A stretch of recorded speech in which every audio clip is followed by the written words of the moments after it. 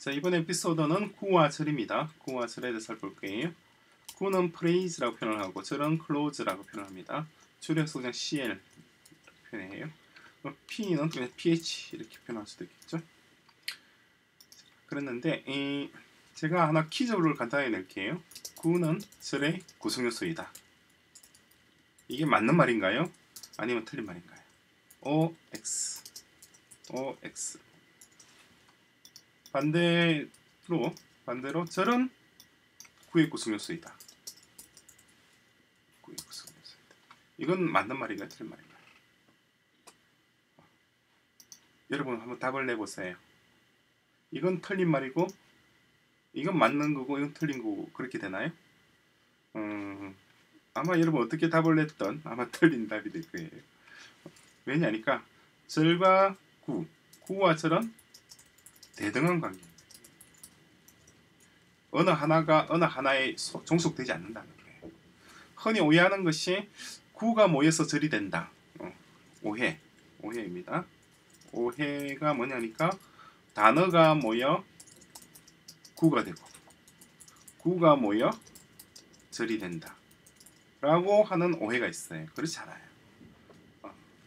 단어가 모여 그러니까 진실 오해와 진실 되네요. 진짜 진짜는 뭐냐니까 단어가 모여 구가 되고 또한 절이 된다. 구가 되기도 하고 되기도 하고 절이 되기도 한다. 되기도 한다. 이렇게 하는 것이 맞는 말이에요. 그래서 구와 절은 서로 간에 대등한 관계. 누가 더 크고 누가 더 적다고 말할 수가 없어요. 예를 들어서 말씀드리겠습니다. This is uh, the desk, the flower. flower. 어, 다음에 the flower of 음, 뭐라고 할까요? Jupiter farm. Jupiter farm. 이거는 from이라고 하죠. from. This is these are 꽃이 한 송이만 왔으면 좀 그러니까 these are the flowers from Jupiter. 요거는 Jupiter 농장에서 보내온 꽃들이다. 주피터 농장에서 기른 꽃들이다 이런 말이잖아요. 그럴 경우 이게 하나의 구예요. 구. 구로서 문장 속에 들어가 있죠. 그러니까 하나 적어야 되겠네요. 문장은 구와 절로 구성된.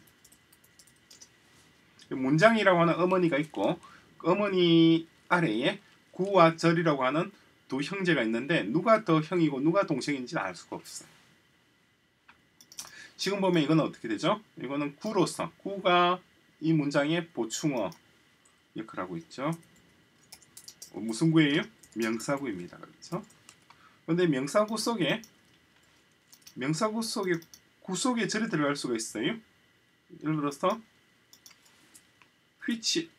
are which were sent by 뭐 주피터 이렇게 합시다. 이렇게 하면 어떻게 되나요? 이거는 어, 주피터 팜이 보내온 꽃들이다 되겠죠? 똑같은 명사구예요. 명사구고 그 속에 뭐가 있죠? 어, 명사구고 명사구 속에 하나의 절이 들어가 있잖아요.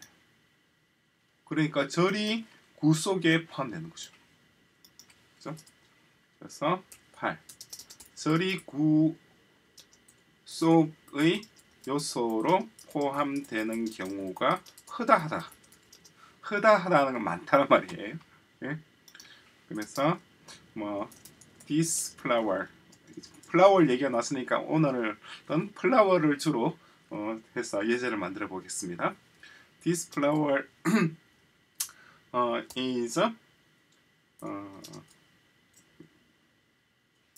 the flower, the flower, the flower of my favorite, favorite. 내가 좋아하는 꽃. 그죠? The flower, this is the flower. 이 내가 좋아하는 꽃이다. 명사구죠. 간단하게 명사구입니다. 그런데 이것을 이 부분만 절로 바꿔볼까요? 한번. 그럼 전치사 over 뒤에 이거는 지금 형용사 역할하고 있는 절이에요. 이만큼은 이만큼은 형용사 역할하는 자. 형용사절. 사절. 그렇죠? 여기에는 my favorite 해서 이 부분 그러니까 this is the flower of my 음, 어, 어, 뭐라고 할까요? 음, 음, I 이걸 이 부분을 I have studied for I have studied 이- 내가 연구했단 말이죠. for several years. 내가 수년 동안 연구한 꽃이다. 이런 말이 되겠죠? 그 이거 이 부분 요만큼을 절로 바꿔줄 수도 있다는 거죠. 절로 바꾸셨잖아요. 그런데 전치사가 왔죠. 전치사가 왔으니까 이 부분을 그냥 이렇게 적을 수는 없어요. 바꿔줘야 돼요. 어떻게 바꿔주느냐니까 having 바꿔줄 수가. 그리고 주어가 I고 이 I와 밖에 있는 주어 this가 서로 다르잖아요. 그러니까 주어를 표시해줘야 되겠죠. 표시를 이렇게 해줘야 되겠죠. My having This is the flower of my having studied for several years.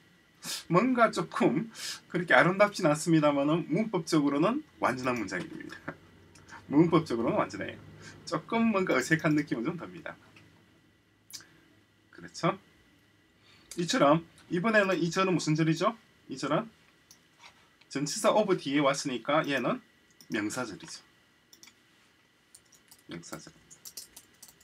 이처럼 명사절이든 형용사절이든 다양한 형태의 절이 하나의 구 전체는 명사구죠. 명사구 속에 포함되고 이것도 마찬가지 명사구 속에 하나의 절이 포함되어 있는 거죠. 명사구 속에 즉 포함된 전치사구 그 전치사구 속에 포함된 절 이렇게 되는 거잖아요. 그죠? 따라서 절이 명사구나 명사구나 전치사구 속에 요소로 포함되는 경우가 많단 말이에요. 그죠?